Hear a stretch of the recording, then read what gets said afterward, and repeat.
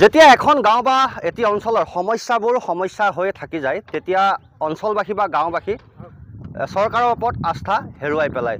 যিসমূহ সমস্যা থাকে ৰাইজে নিজে সমাধান কৰাৰ চেষ্টা কৰে। মোৰ সতীৰ্থই দেখাব। মই হাইজোংবাৰীত আছোঁ গহপুৰৰ আৰু হাইজোংবাৰী দৈমালু সংযোগী যিখন কাঠৰ দলং আছিল এফালৰ পৰা ভাঙি শেষ হৈ গৈছে।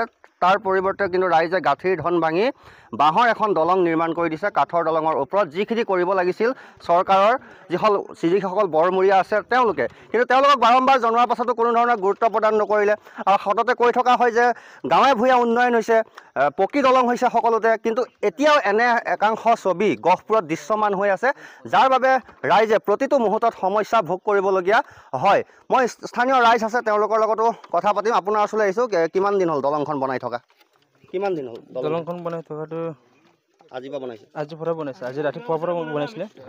এতিয়ালৈকে খতম হোৱা নাই মানে। ৰাতিপুৱা ওলাইছে দুবৰ ৰাইজে নিজৰ টকা পইচা খৰচ কৰি বনাইছে নে? ৰাইজে নিজে টকা পইচা পেলাইখিনি কৰিছে এইটো। হয় কি কিমান গাঁৱৰ ৰাইজ ইয়াত গোট খাইছে? ইয়াত দুটা গাঁও আছে হাইজংবাৰী আৰু সোণাৰীজান। হয়। একে মিলাই বনাইছোঁ এইটো।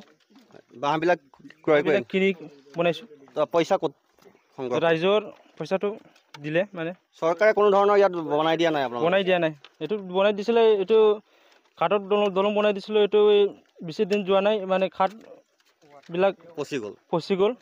হয় সতীৰ্থই পুনৰ দেখাব। দলংখন এবাৰ বনাই দিছিল কিন্তু অতি নিম্ন মানদণ্ডৰ দলং বনালে এবছৰেই নগ'ল বুলি তেওঁলোকে জনাইছে। আপুনি কামত লাগি আছে? অঁ।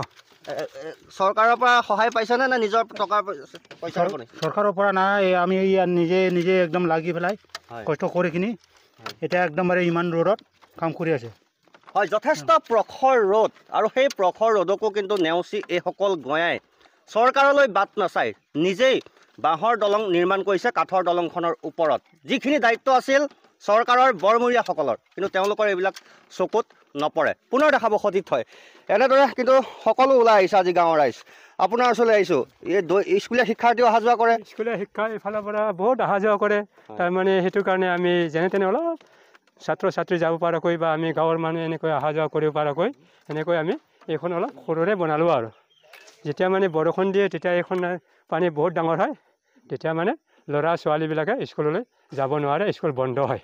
সেইটো কাৰণে সিহঁতক দেখি আমি মৰম লাগিলে। তাৰপাছত আমি মানে যেনে তেনে দুটা গাঁৱে লগ লাগি অলপ সৰুকৈও বনাই ল'ম বুলি আজি সেনেকৈ ওলাই বনাই ল'লোঁ আৰু আমি। চৰকাৰৰ যি পক্ষ থাকে প্ৰ- প্ৰতিপক্ষ থাকে তেওঁলোকে বনাব লাগিছিল কিন্তু আপোনালোকে বনাবলগীয়া হ'ল। কি কৰিব আমি চৰকাৰৰ মতেতো আমি ইমান নাজানো।